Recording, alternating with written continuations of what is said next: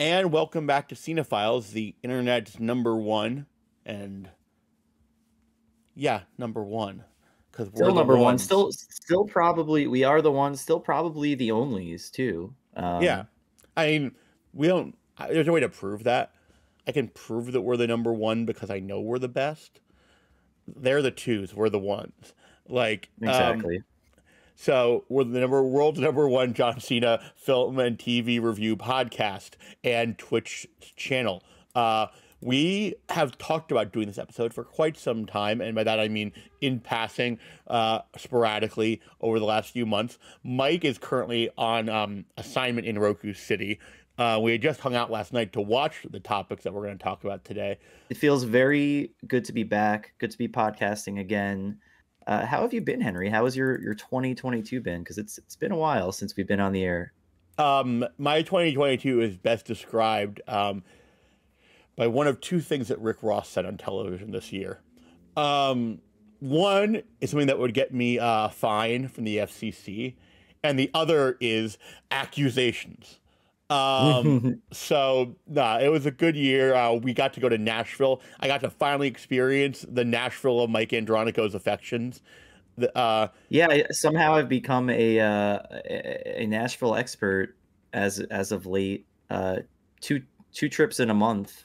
Uh, I guess I'm just the the unofficial guide.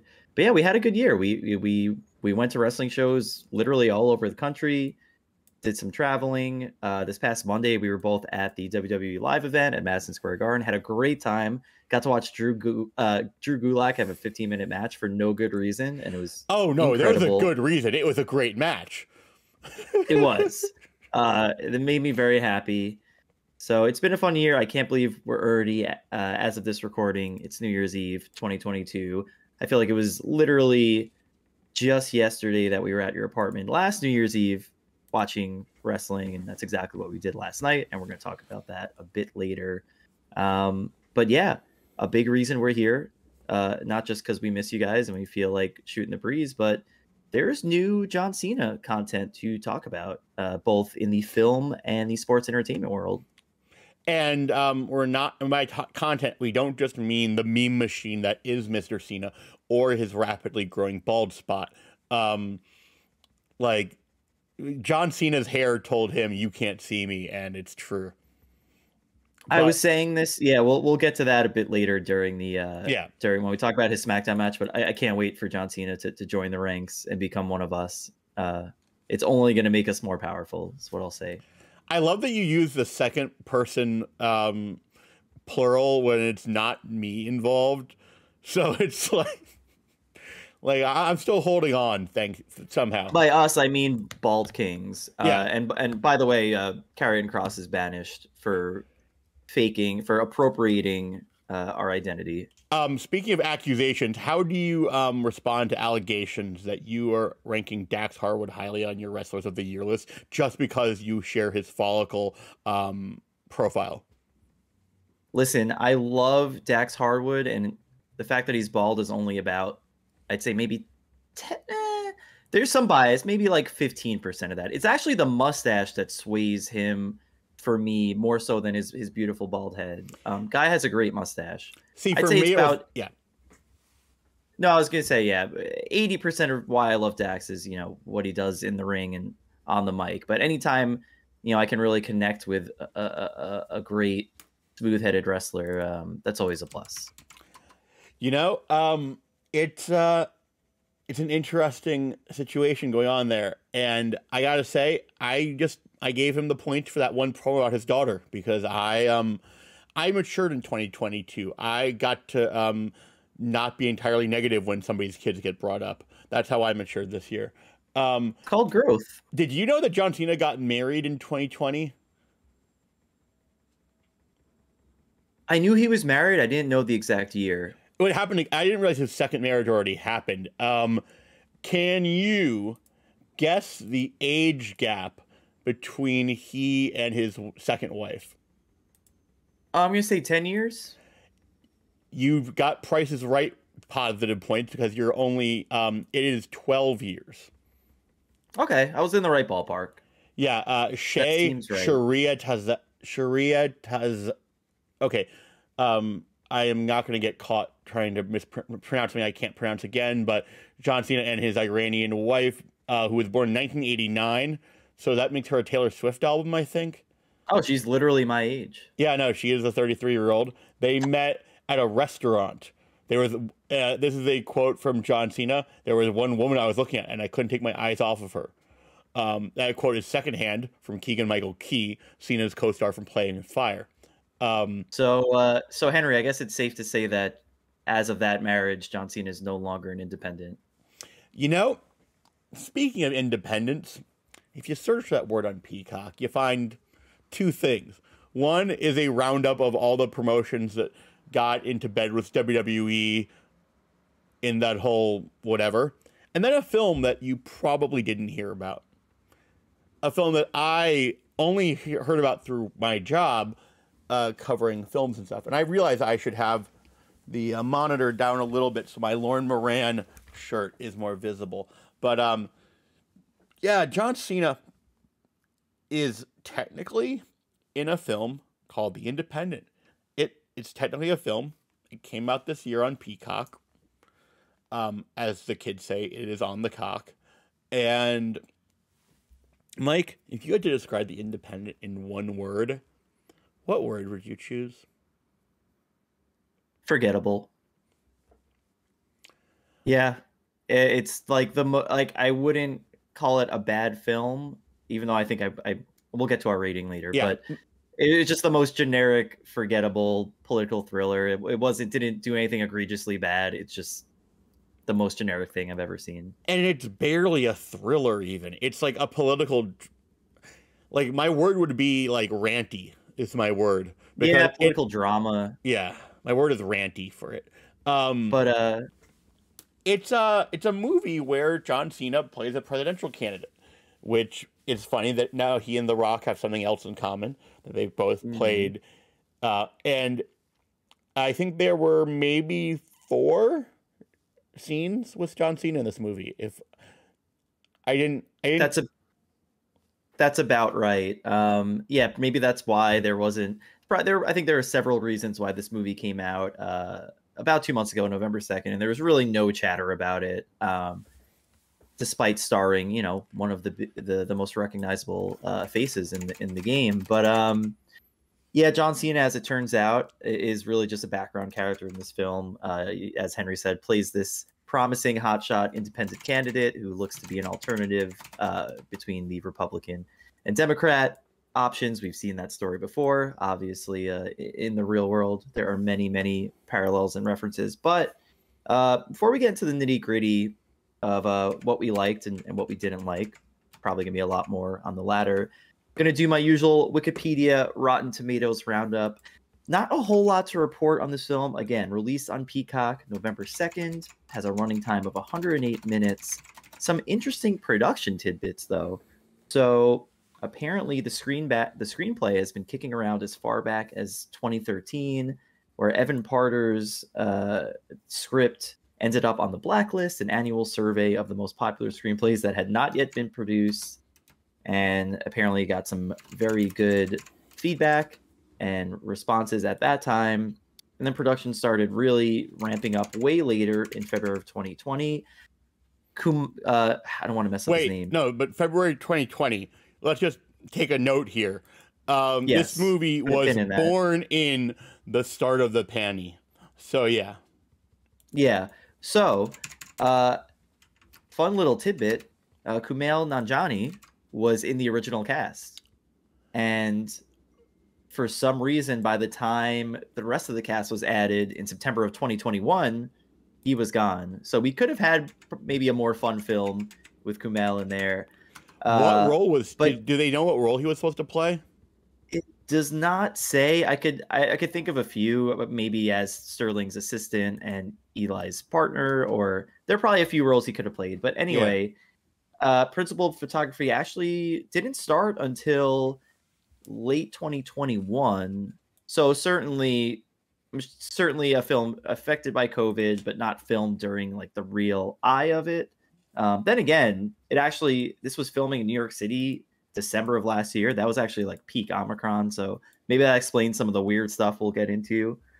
Um, as far as the reception goes, uh, this movie is sitting at a crisp 33% on Rotten Tomatoes for the critic score, a surprising 85% in the audience score with 50 plus ratings. That shocks me because even like the sickos like us that are going to watch this for John Cena, we didn't really like this very much. So, like, I don't know That's which that.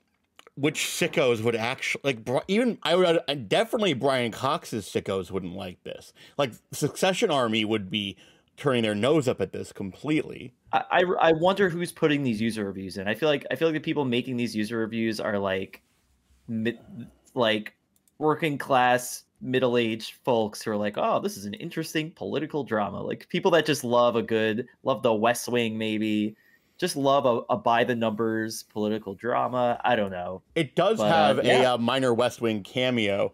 Um, Toby, I believe, um, not Toby, um, is a different character, but yeah, there is uh, CJ's love interest from the early seasons of The West Wing is a has one has a one scene and he's done appearance. It felt like that guy who our main character yells at basically in a hallway politely and is never seen from again.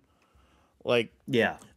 and that is a scene where I would sort of, Mike. I, I don't want to jump in too far. This movie is too complicated. It, I shouldn't be rushing it. Um, we need to start where it all begins, because Mhm. if their time is up, oh man. So yeah I don't, I, I don't think we're gonna do the usual scene by scene breakdown that we usually do because there's there's not a lot of john cena to discuss in this film but we have to talk about the beginning uh, to set the scene. We're watching uh, john cena as nate sterling deliver one of his big presidential uh, campaign speeches and he's giving his whole spiel like i said about he's kind of the alternative. He's looking out for the everyday person. He's to make the environment better. He's to make the world a better place. He doesn't have the interests of you know these big lobbyists in mind or, or whatnot um and a maybe not even five minutes into the film he quite literally says referring to you know all your typical politicians their time is up our time is now referencing his favorite wrestler, John Cena, one of his signature catchphrases. Uh, I was die. This absolutely killed me. I loved the campy self awareness of it all. There's actually, we'll try to put it in the show notes somewhere. But if you just go to Henry's Twitter, I just retweeted there's a clip it. of there's a clip of this scene and my reaction to it, which kind of says it all. Um, so right off the bat, we get John Cena as his political candidate giving this speech, literally quoting himself, quoting his wrestling character, um, which blew my mind. And I was actually at this point in the film, I was like, all right, I'm ready. Let's strap in. Like this, this is going to be a good time. And Magan says he got Cena's Fortnite skin over the summer. So Cena's been a busy guy. Cena's been a busy bee. And Oh, that's right. That's an important. Um, the thing yes, is, he's, yeah, he's, he's go on. no, no. The thing is, like Cena was is a busy man, but he's not busy with um this movie. Like the big problem here, and it's sort of it's sort of the reason why I think it's part of the reason why we're not going to have a lot to say about it. But like it's um you don't get a lot of him, and it's sort of No. in a very uh, I want to say frustrating way, but like don't tune into this movie for that because it's yeah Cena. and just to and just to explain why so the real the protagonist of this movie is a woman named uh, elisha eli james played by jodie turner smith who i think did a pretty good job Yeah. with what she was given Yeah. she was solid um, and it's really about her reporting on this campaign and realizing that uh, despite his presentation as the everyman that doesn't take uh, money from you know sketchy companies. Uh, it turns out that the opposite may be true. That this whole campaign may be funded by some uh, somewhat suspicious sources, and maybe he's not playing uh, as clean of a ball game as he's presenting. So it's yeah, it's really a story about an investigative reporter who's you know kind of the the underdog, the outcast at her at the Washington Chronicle where she works. Her one colleague that kind of takes her under her wing, Nick Booker, played by Brian Cox of uh, uh, Succession fame. The the whole movie is really them digging into this guy and finding things that you know, finding some some pretty major revelations that will affect how he looks in the public and deciding what to do. So it's really yeah, again, it's a it's a political drama about a reporter uncovering a candidate's dirty laundry. It's also So, about journalism. Cena's- It's also very much about like the newsroom and like the decline of the American news. Like not not just one or two scenes really, but like it's the least John Cena y a John Cena movie has been to this date. Yes, Brian X. Uh, sorry, Malgan. Brian Cox was also in X two. We brought that up last night. Um, it he Brian Cox is a guy who. I don't know if anybody is below this movie. I feel like everybody's above this movie, but Brian Cox's appearance in it may be the weirdest thing to me because, like, I mean, a payday is a payday, and like when Mhm. all these streaming systems are trying to get all these people and these services, they need to. They're they're doing what they can to make all the content possible, but it's a movie about detec- detective work, but it's no Batman. It's no Yeah, and, and I think I think all the actors involved did a good job. There wasn't anything. I think it was. I, I don't even want to say poorly written, but the, the whole the whole screenplay was a cliche. It was all just these these really cheesy one liners. I, I think Henry, you caught me like saying the lines before they came out. We were Oh, watching yeah. it together last night because it was just all these ham-fisted um, dialogues about the truth and you know doing doing what matters and doing what's right, uh, which is all well and fine. But again, just very uh, just a very generic script, very predictable. I do, but you know, uh, uh, this is a John Cena podcast, and I do want to talk about the the few moments we did get with him and what we thought of his performance. Yeah. So the starting scene um the thing about the starting scene is that it's less memorable for i mean it is incredibly memorable for his line of dialogue where he quotes his own theme song or his just his he quotes himself but at the same time it's incredibly also the first big indicator where it's like oh john cena is being filmed on a green screen and it's weird and awkward because you have these tight shots on Cena delivering these promo. It's a stump speech. I think it's like he's already declared at this point because this is the scene that it's like this is how certain movies try to be bigger than they are. It's like, oh, this is the scene from the end of the movie, but we're showing the start of it at the beginning of mm-hmm. the movie.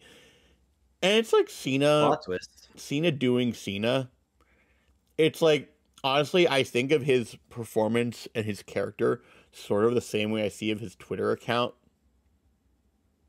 Yes, very uh the very all-American good guy, very, you know, do what's right. Eh, Henry nailed it. It really is Cena just being himself. And when I say being himself, like being this the modern incarnation of Cena, just very charming, friendly. You know, after the speech, I think the next time we see him, his his initial interview with Brian Cox's character, just talking about why he's doing this campaign. Again just being he's he's literally fresh off a workout in his t-shirt being very personable very charming being like oh well i'm running for president because i suck at golf. Like you know he's being the way I, the real john cena would be in an interview i feel. Oh, good, I've got a person to block. Um, is it kick or uh ban? This is spam. This is fun. Uh, we're blowing up i think that's a good sign that you know cenaphiles is growing if we're if we're getting uh Yeah. spam bots in the chat Yeah. Um, Uh, also, I realized there was a movie I didn't remember for our list at the end. So, um, but so it's it's very much like John Cena sickos should watch this movie. Fill in the blank for after like as we're we're basically said like the three the three or four Cena scenes you get are very much Yeah. boilerplate and by the book. What circumstance would you recommend a John Cena fan to watch this movie? um if you're so obsessive to the point where you host the podcast ranking and reviewing every single movie that John Cena has ever been in and discussing it in uh, intricate detail, this might be the film for you. I don't know if I would recommend. I mean, maybe I would recommend that everyone watches the opening speech because of that hilarious one-liner, and I, I wish the rest of the movie had that same level of like camp and self-awareness. Instead, it's just very self-serious and generic. I, I don't know. I wouldn't recommend it to many Cena fans. I will say, as we said, this is Cena being Cena through the end. Uh, spoiler alert! If you guys you guys have a second to, to click off, if you're somehow don't mute us, mute us, mute us, mute us. Um, I don't really. I mean, I, I think it's okay to, yeah, say. yeah, yeah. So the big twist, I wouldn't even call it a twist, but as it turns out, uh, Mr. Sterling is taking some dirty money. He's in cahoots with Super Lotto and and he's being funded by the lottery and it's a very sketchy scheme.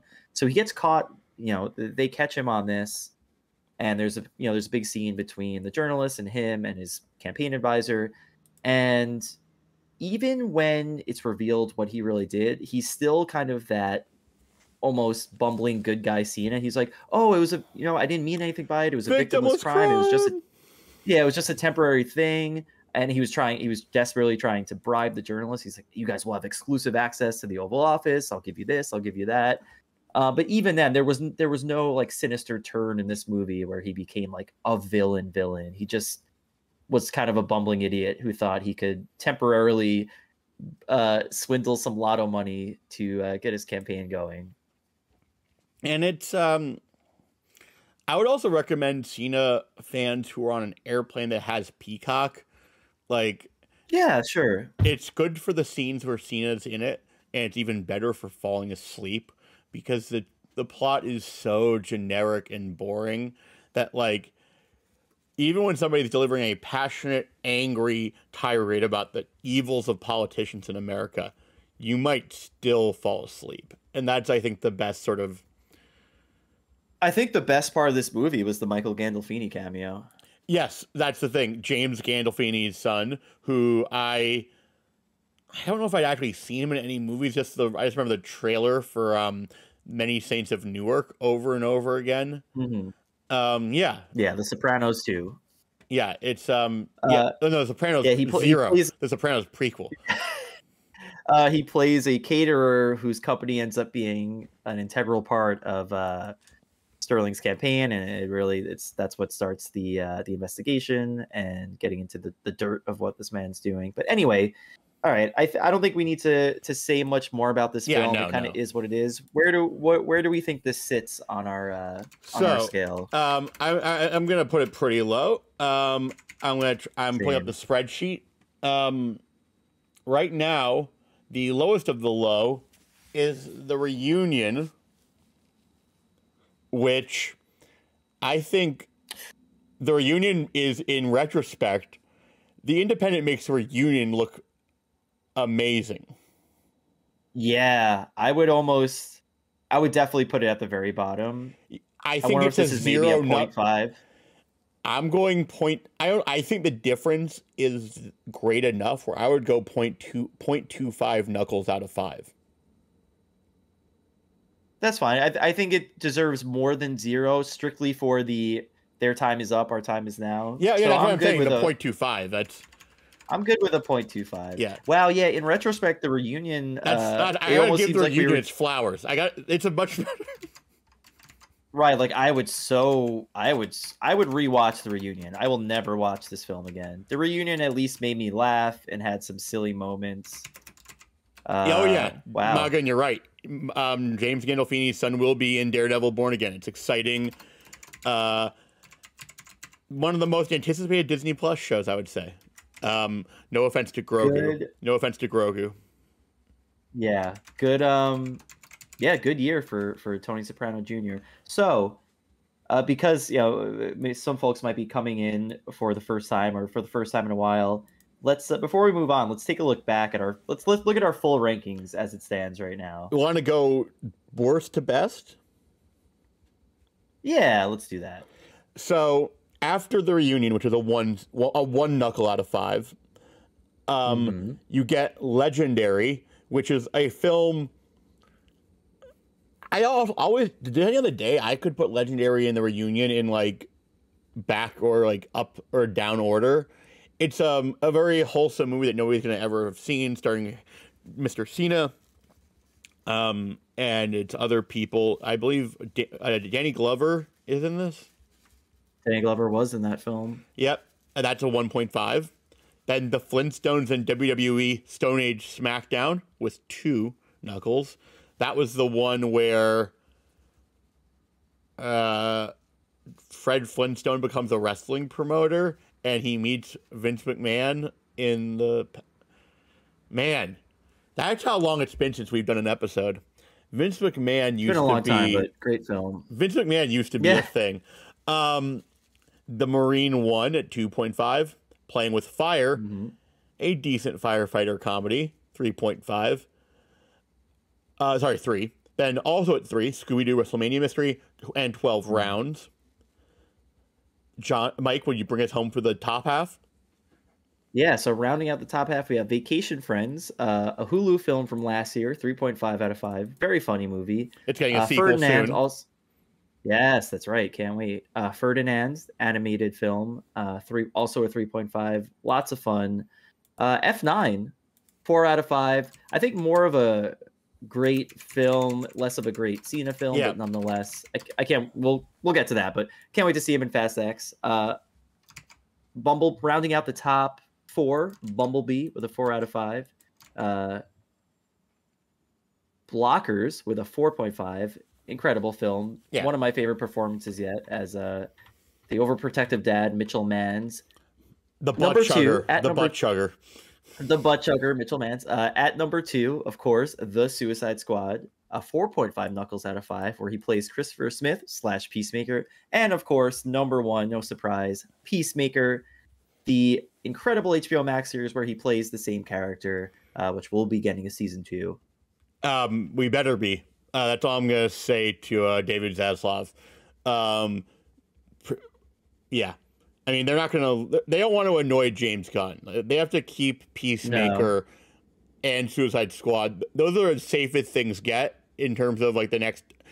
How long is Gunn's contract? Is it like five years or three?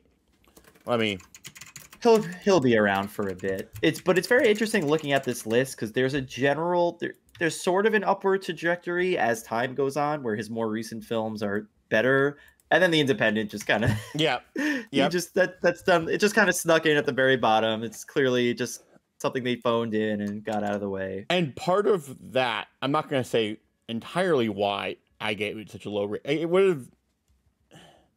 It's incredibly cheap looking, in that it has the it has a very weird visual sense where everything looks like it's shot on a green screen, and Yeah, a lot of it was probably. But like the opening scene where Cena's doing a speech to the crowd, they're trying their hardest to make it look like there are people around him, but you can tell once you get to the wide shot. Um, yeah. it's not.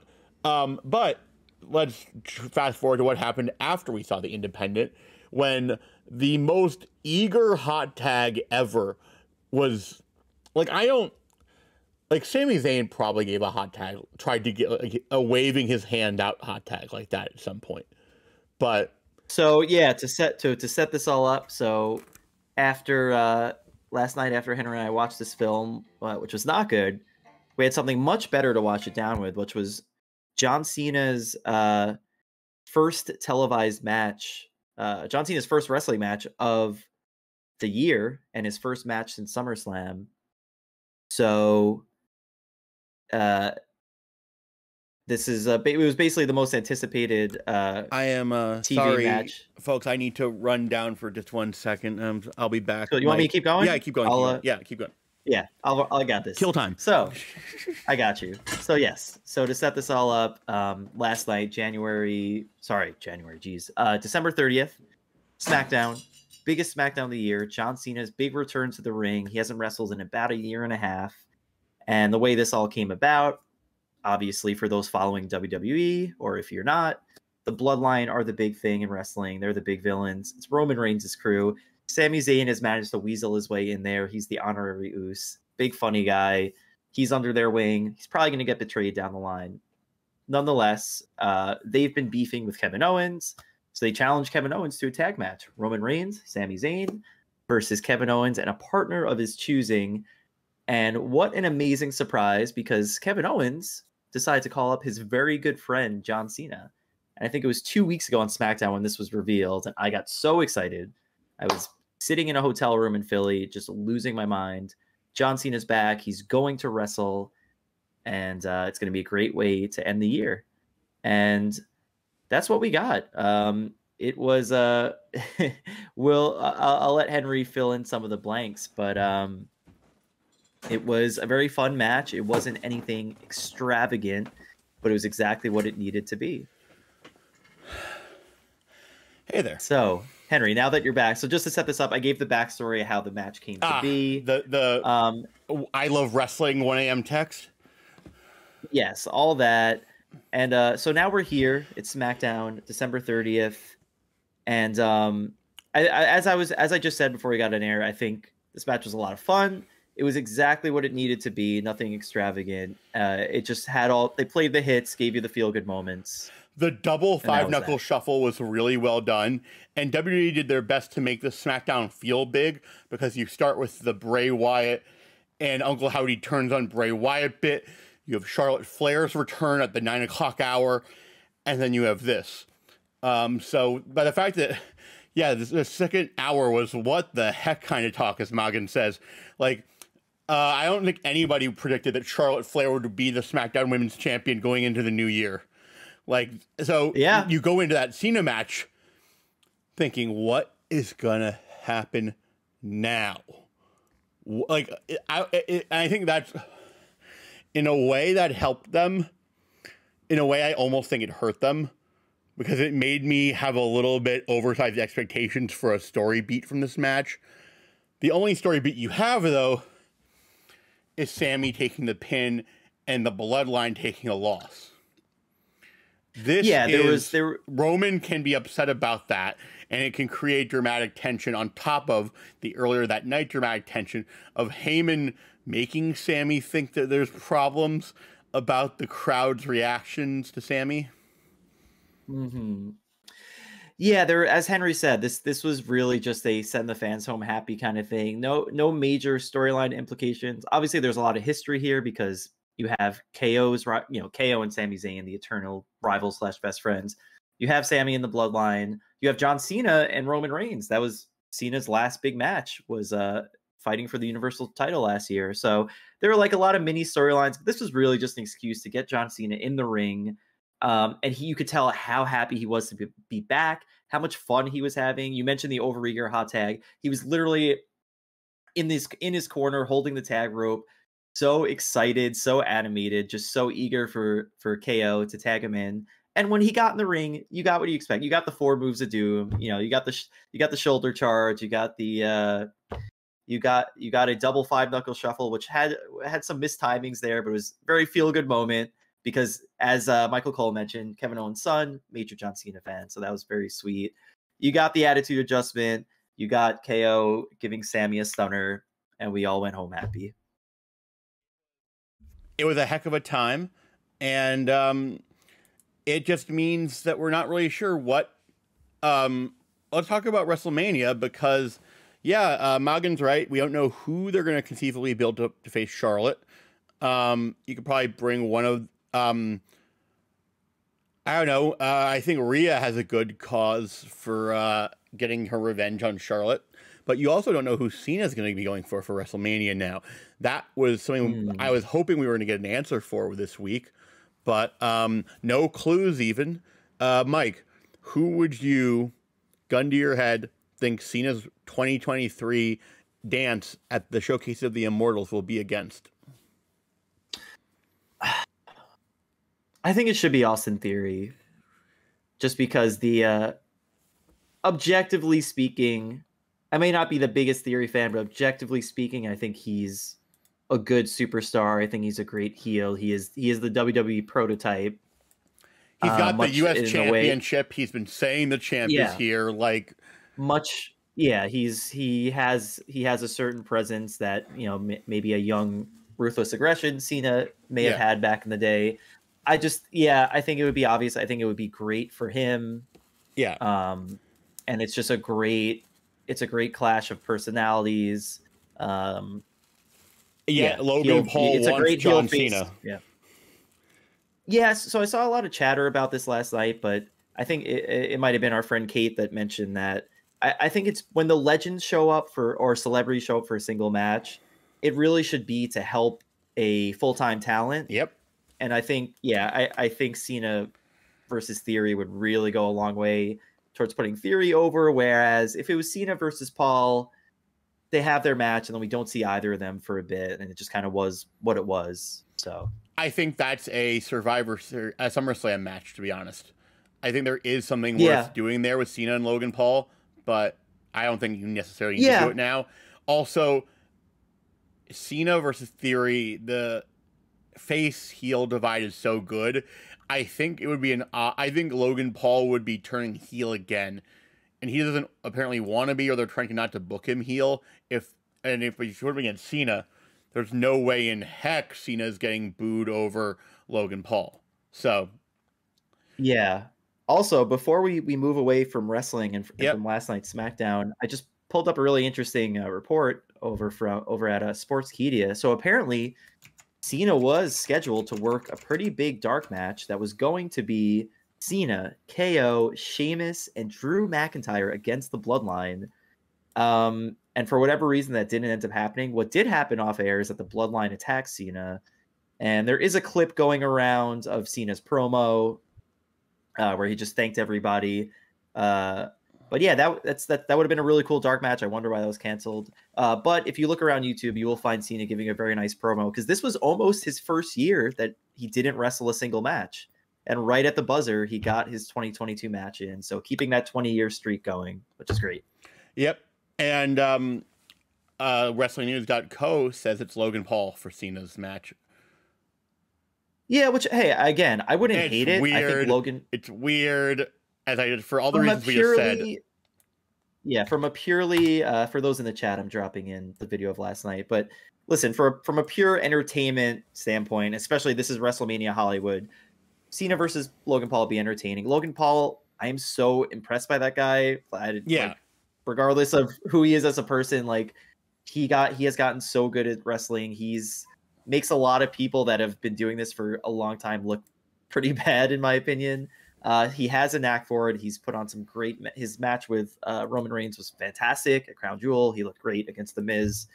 So it would, as far as pure entertainment goes, it would be good. But I think you could build a better story with Cena in theory. Oh no, completely. Um, I would I, no matter which one of those happens, is that your most anticipated John Cena project of 2023, or the, there are five? Of course, there are five Cena projects for Wrestle for 2023. WrestleMania 2023, Coyote versus Acme, which is a Wiley Coyote project. Argylle, um, a thing with who would have thought that Henry Cavill wasn't coming back? Like John Cena and Henry Cavill being in a movie together, and John Cena being the only one who has a strong confirmed future in the DC movies. That's amusing. Um, Snafu, a film with Jackie Chan, and Fast Ten. Uh, I think you know the answer to that. Definitely the one. Uh, listen, I'm a big fan of family, so I have a bias towards any project uh, that's really about just hanging out in a backyard and eating a meal after pulling off some sort of heist uh, in the name of your loved one. So yeah, very excited for Fast Ten. Um, especially now that we kind of know spoilers, but we know that Jakob Toretto is going to be a protagonist now. He had a he had a good guy turn uh, Yeah, no, after it- being the villain of Fast Nine. There, there's enough time has passed. Like I think people can. Yeah, I will say though, like low key, I'm low key excited for Coyote versus Acme because as we've covered on the show, John Cena is great in animated projects. He is he's just he's a natural at at at, being these fun cartoony characters, and I'm sure whatever he's doing in that film, he'll have a great time with. Honestly, the the thing I'm really frothing for, it'll probably be a bit, but Peacemaker season two is in the works. It, you know, in some level of development. Um, and that's the thing that I can't wait for. Obviously, Peacemaker, number one on our rankings. I think it's the best acting he's ever done. And now with now with James, I'm actually also excited with with James Gunn being in charge of the DCU now.